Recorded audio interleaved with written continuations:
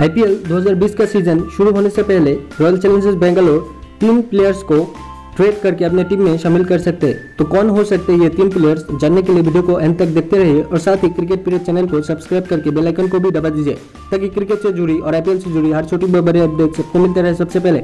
Cricket जगत की सबसे लोकप्रिय T twenty cricket league IPL अपने बारहवें सीज़न पूरे कर चुकी है। इंडियन प्रीमियर लीग 2020 में होने वाले अपने तेरहवें सीज़न की तरफ़ अग्रसर है। आईपीएल के इतिहास में भारतीय टीम के कप्तान विराट कोहली की अगुवाई वाली रॉयल चैलेंजर्स की टीम हमेशा से ही कुछ बड़े खिलाड़ियों के साथ उतरती रही है। लेकिन अभी तक रॉयल चैलेंजर्स बेंगलोर को एक भी बार खिताब हाथ नहीं लग पाया है।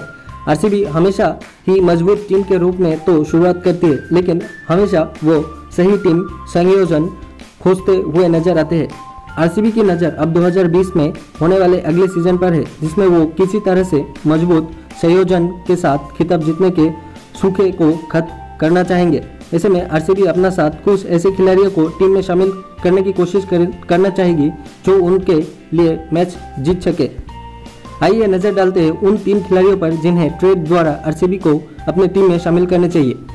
तीसरे नंबर पर है मोइजेस सेंड्रिक्स ऑस्ट्रेलिया के ऑलराउंडर खिलाड़ी मोइजेस सेंड्रिक्स पिछले कई सालों से आईपीएल में खेल रहे हैं। इस ऑलराउंडर खिलाड़ी ने अपना प्रदर्शन से कुछ सीज़न तो अच्छा प्रदर्शन किया, लेकिन किंग्स इलेवन पंजाब की टीम से उन्हें पिछले सीज़न में चोट के कारण एक भी मैच खेलने का मौका नहीं मिला। किंग्स इलेवन पंजाब की टीम के पास पहले से ही कई बड़े विदेशी खिलाड़ी मौजूद है।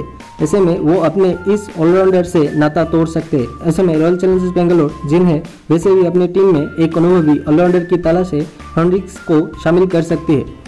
मजेस हेनरिक्स ने सत्तावन आईपीएल मैचों में नौ सौ उनहत्तर रन के साथ ही अड़तीस विकेट भी लिए हैं।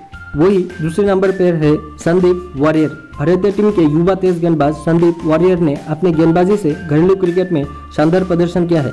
संदीप वॉरियर को 2013 में आईपीएल में आरसीबी की टीम ने शामिल किया था, लेकिन 2015 तक टीम का हिस्सा होने के बावजूद उन्हें कोई मैच खेलने का मौका नहीं मिला।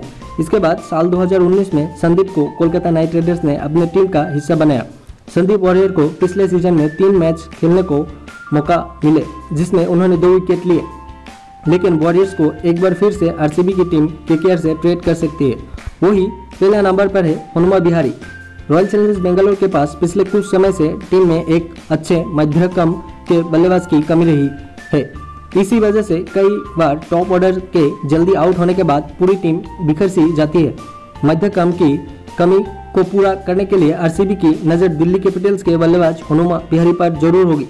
हनुमा बिहारी को दिल्ली कैपिटल्स के लिए पिछले सीज़न में कुछ ही मैच खेलने का मौका मिला था, लेकिन वो आरसीबी के लिए मध्यक्रम में अहम खिलाड़ी साबित हो सकते हैं। तो फ़िलहाल इस वीडियो में बस इतना ही। और अगर आप भी चाहते हो इन तीनों प्लेयर्स को रॉयल चैलेंजर्स बेंगलोर को अपने टीम में ट्रेड करके शामिल करना चाहिए तो कमेंट बॉक्स में अपना राय ज़रूर बताइए। और साथ ही वीडियो को अच्छा लगा तो एक लाइक करना मत भूलिए। और साथ ही क्रिकेट पीरियड चैनल को सब्सक्राइब करके बेल आइकन को भी दबा दीजिए, ताकि क्रिकेट से जुड़ी हर छोटी बड़ी अपडेट्स और आईपीएल से जुड़ी हर छोटी बड़ी अपडेट्स आपको मिलकर रहे सबसे पहले। धन्यवाद।